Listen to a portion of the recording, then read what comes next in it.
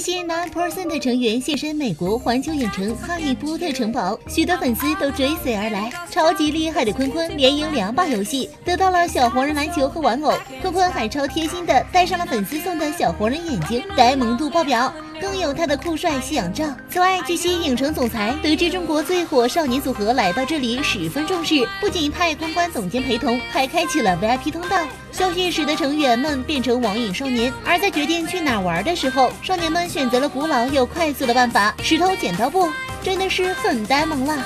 非凡娱乐整理报道。